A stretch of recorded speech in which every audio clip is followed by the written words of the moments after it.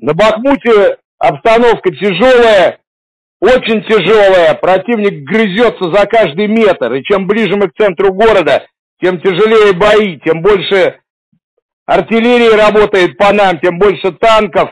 Украинцы подкидывают бесконечные резервы. Но мы идем вперед и будем идти вперед. И славу русского оружия не посрамим.